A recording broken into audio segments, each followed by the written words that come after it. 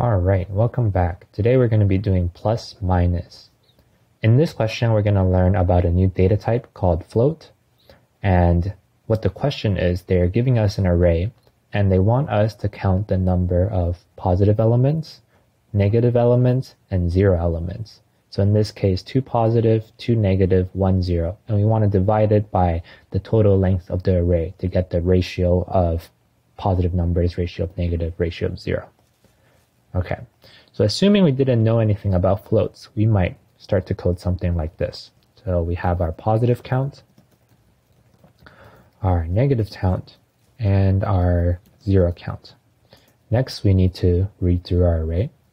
We can do a for loop um, where we go through each number of our array.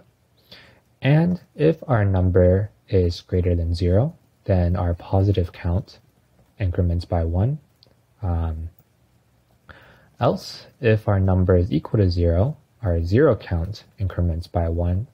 And finally, everything else should be negative, and we increment that by one. Uh, to solve the challenge, we need to print out the ratios. So that's printed out.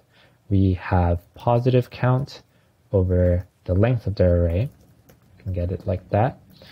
And then we'll do the same thing for the negative count. And then finally, the zero count. So that looks good. We'll try running it. Then you can see our output seems to be all zeros. So in this case, we have um, six numbers and four of them are positive. So we should get something like four out of six, but instead we have zero. And the reason for that is because integers are can't store decimals. And in Java, what we have is, and what happens is we did, you know, positive count divided by the array length. These two are both integers. So we essentially have an integer divided by an integer. And that returns to us an integer. And integers, um, for example, let's say we have two bits here. Let's say we have 0, 0, 0, 1, 1, 0, 1, 1 to represent 0, 1, 2, 3. There's no really way for us to represent, you know, 0 0.4 or 0 0.5. So what happens is everything after the decimal, we just truncate, we cut it off. Um, so that's why when we output, everything turned out to be zero. So it doesn't matter if it's really close, like 0.099, 0.999 or 0.0001. As long as we're trying to put it inside an integer, everything after the decimal point gets cut off. So to solve that, we're going to learn how to use a new data type called float. Okay, so float is like integer, another data type. So you could declare it like this if you wanted to, float, you know, x equals something. But instead, what we can do is we can actually just tell Java to treat this number as a float by casting it. So to cast it, we do this uh, bracket and then the data type bracket in front. So this tells Java like positive count. I know it's an int, but for now, for this calculation, I want you to treat it as a float. So here we have another float, and here we have another float. So when we have a float divided by integer, um, we'll get a float back. So if we try and run this code again,